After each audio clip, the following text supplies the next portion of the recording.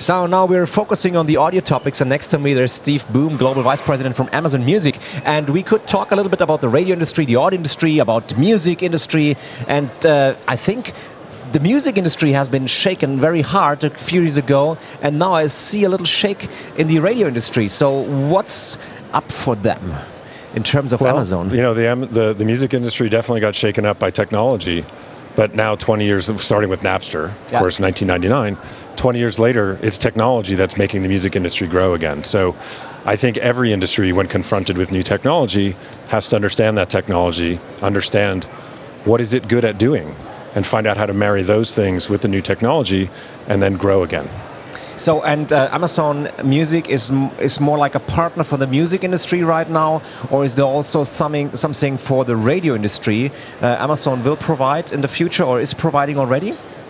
Well, sure. So Amazon Music is a partner for the music industry, but Amazon Alexa, our Echo devices and Alexa, uh, already a very popular way to stream traditional radio stations is through Alexa. So millions upon millions upon millions of hours around the world of regular traditional FM radio and AM radio are being streamed on uh, Echo devices.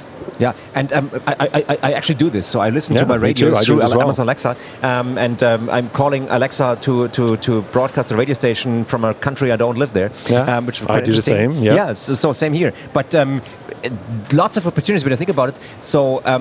Amazon might know what I'm listening to when I listen to radio over Amazon Alexa, but maybe you have better We stats than We radio just know that you asked to listen to Virgin Radio in the UK. After that, it's it's Okay. not our stream. But would be a great opportunity for you because the stats for radio are quite old and quite boring. Maybe you would have better data and to provide it for the radio industry. Wouldn't it be a great well, opportunity that, that data compete? is there. That's the radio industry's data for them Okay. to figure out what they want to do with it. Okay, it's so not just, ours. just, just, just, Yeah, just inventing ours. something for you. Yeah. Yeah, but we partner with the radio stations, you know, for Amazon Alexa. It's a very popular part Yeah. of the Alexa experience. Yeah. So, um, but talking more about Amazon Music and um, the streaming industry. So there are other competitors in the market like uh, like Spotify. And um, where is the the difference between you and Spotify in the near future? Is it the devices or is it the content? It's the experience. And so, um, first and foremost, we've really put voice control of a music service at the center of everything we do. We think the way you access music by using your voice is totally transformative. And so, we've been focused for the last several years on building the best voice forward music service. And then, most recently, just five weeks ago, we launched Amazon Music HD. And so, this is a service that offers customers 50 million songs in CD quality and millions of songs in better than CD quality. And uh, you know, we're the first of the major streaming services really to to stand up and say, you know what, audio quality really does matter. And so when customers think about Amazon Music, we're already seeing um, huge interest in our in the new service Amazon Music HD, and that's how I would think about it.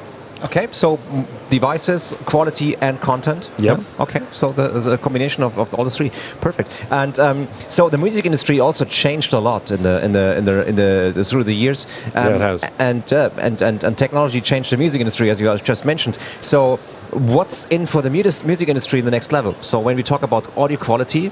And new bands, new new new talents. So how can Amazon help the music industry to find or to explore new talents? Well, I mean, that's what's amazing about streaming services and streaming being global is that new artists are, are bubbling up from um, parts of the world that no one was expecting sometimes and becoming popular worldwide very, very quickly. And I think the data that exists on all the streaming services uh, really helps the music industry understand where's the next hit going to come from. And so um, I think that's the biggest thing that you're seeing right now is it's changed the way A&R or artists and repertoire, how people discover artists. It's completely changed in the way that's done.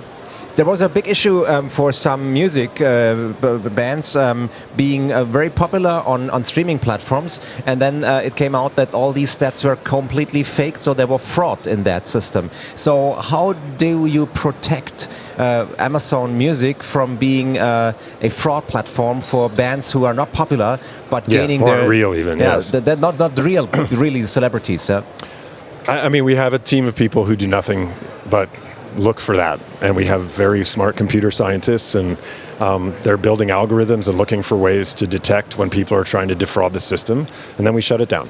Very Okay. simple.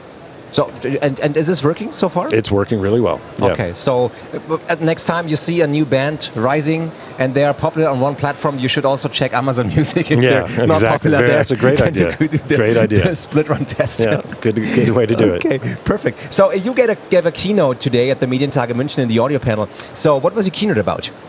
Well, it was a discussion. It wasn't a speech, um, but there was just some questions about, you know, what is Amazon Music all about?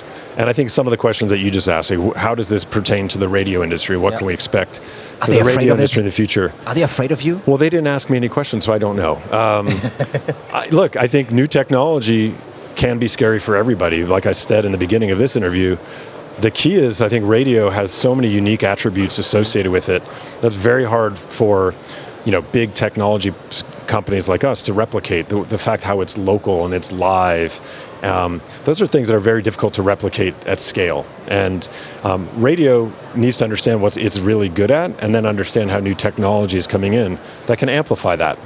Um, and if they do that, then they'll grow with the new technology instead of being disrupted by it.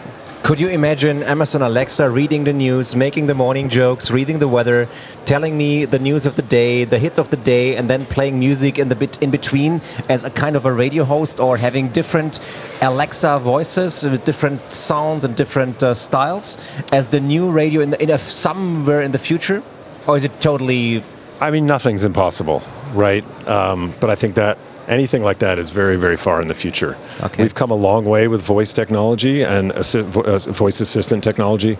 Um, still quite early days, and, and that vision is long, long time in the future, in my opinion. Okay, there, there's still something. There's still cake for the radio industry. Still a lot of technology development to do, absolutely. Perfect. Thank you, Steve Boom from Amazon Music. Thank you for Thanks having for being me. here. My being pleasure. Thank you.